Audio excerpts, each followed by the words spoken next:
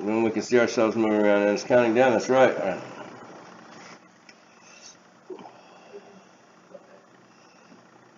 I will. I'll trim it. Oh, we'll just do the fucking director's cut again, like we used to do. What's up, everyone? We are live from the Hive. We've taken a break from the Hive for a while. You know, um, what can I say? It kind of became routine. We only had the same few bikes, finishing the same few places for a long time, but now we've saved up uh, uh, some pretty good news here. So um, we're going to start out with the fact that we've had some new guys that, with, uh, the last few races at uh, Dade City Motocross Series in the three-wheel class. David and John Williams came out a couple weeks ago. That was really cool to have them. Um, Dylan McCord. Dylan McCord has uh, has been there twice so far on, on the new BBC. Uh, 4, 490, I think. It's like a big bore 450 or something. I don't know, but this is pretty awesome. He came out the first time it was a mud race. Second time uh, he made some changes to the bike, and last night uh, ran ran pretty well.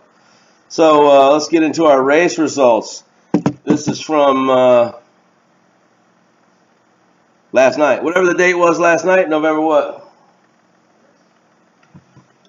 All right, we're gonna uh, go to our information here.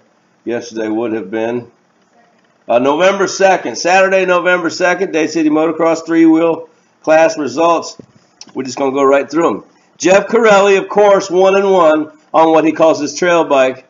Apparently, his trail bike's pretty nasty customer. Um, he got out there, did some fantastic GoPro front to back, and uh, um, and he killed it. One and one as usual. Jeff Corelli, congratulations, champ. Right behind him and hot on his heels. What a show! The GoPros are great. Chad Gaffney, man, Chad, you're gonna get him one day. Chad goes two and two for second overall. Oh man, third place, Craig Gingrich. Great, good to have Craig back. Craig's been missing for a couple weeks. Uh, he went three and five for third overall. Uh, Craig, Craig's uh, Craig's a monster on the whole shot, man. He really he really can drop the hammer off the gate. The, uh, I think he, he, he carries that over from his drag racing hobby. So um, good job, Craig. Dale, Dale Powell, happy birthday. Yesterday was Dale's birthday. He came uh, his wife and, and, and kids were with him on his birthday to come race at Dade City in the three wheel class. Pretty awesome. He went seven and three, and I'm tell you what, he would have done a lot better. Seven and three for fourth overall. He went seventh because you, you, you got to see the GoPro if you haven't. Uh, he does this fantastic wall climb Spider-Man thing. You know, he, we take off in, in, in the whole shot in Moto One, and it, it turns left, and then it turns right.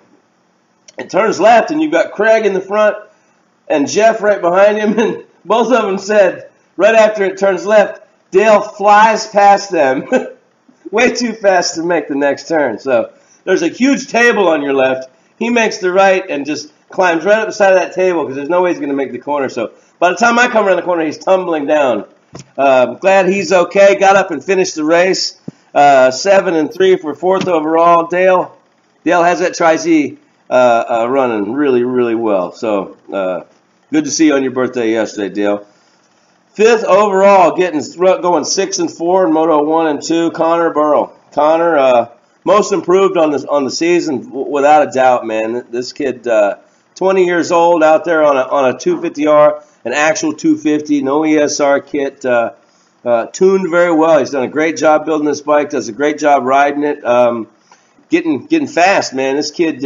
He definitely graduated from Killer B School. It was fun racing with Connor for, for a few months, but uh, he, he's up there going faster and jumping further than this old man wants to do. So congratulations, Connor. Um, fifth last night. Uh, behind him, Dylan McCord, the newcomer, goes five and six, looking good. The BBC is a great bike. Uh, glad your setup changes worked out for last night to be a better run. Behind him, seventh overall, going four and seven. Randy Sawyer. Good to see Randy Sawyer again. You know, he uh, kind of dropped off the planet and played with his fish tanks for a few months, but uh, he's back for the last two races, which is really great to have him back. And I tell you what, check out the videos of Randy Sawyer. Randy, uh, uh you know, good thing that thing doesn't have wings because it would have just took off he uh, he he aired it out like no one else last night, and uh, and, looked really good. Good seeing you, Randy.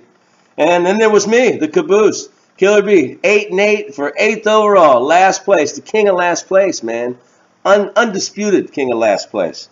Um, I, I, see it as a victory. Last few weeks have been a real struggle for me. Last two months, uh, bike problems, crashes. Last two races in a row, I crashed out both times. Both my legs are destroyed. Went out there last night, finished two motos without any problems, without any crashes. Last place, but it was a victory for me. I had a great time doing it. Thanks everyone for being there. Thanks Dade City Motocross for having us. Uh, was a great time. So that's about all we got for race results. We got one to go, and and and the uh, 2019 DCMX Champion Series will be wrapped up. Banquet after that. Um, what do we got going on here? Uh, congratulations! I'm gonna sneak one in here real quick. Congratulations, Tony Verano, on uh, uh, first place in the quad class. I think he's gonna uh, pretty well sweep the quad class this year for the uh, DCMX Championship. He's one of our boys, though, so I wanted to shout him out. Um, soon as we end, uh, MX Central Power Sports Series at Waldo has a winter schedule coming up for guys that want to go do some MX three wheeler quad dirt bike at Waldo through the winter. Check them out. Uh, also, some flat track stuff going on up in Jacksonville. Um, looking forward to uh, uh, running for uh, uh, White Ass Open Racing. Bert Needham is going to uh, let me pilot one of his Ducatis on the flat track up there a couple times this winter, and I look forward to it. I've been wanting to try out a Kawasaki, so thank you, Bert. I'll see you up there in Jacksonville. You guys check that out. Chris Steiger is always posting about those particular races on ATC Outlaws and pretty much all over the place. So keep your eyes open for those. Uh, on three, man. Thank you, On Three. On Three has come through as the title sponsor for the Florida ATC National, February 29, 2020. We will have uh, a camp out for a couple days leading up to that um, at Croom Motorcycle Park, very close to Dade City Motocross. And what, and we have what we've got going on is we've got access where we can come in. The guys can come in from Croom late Friday. They can get into Dade City, get their camp set up, get their bikes set up. Um, uh, I'm going to make a video on the national page. Go to the Florida ATC National group uh, uh, for more information on that. But we're going to camp out there Friday night. We're going to run a 10-hour venue on Saturday. Uh, that's going to be a really great uh, uh, for everyone, from from kids to seniors and ability classes, age classes, all that stuff. On three, title sponsor for that one.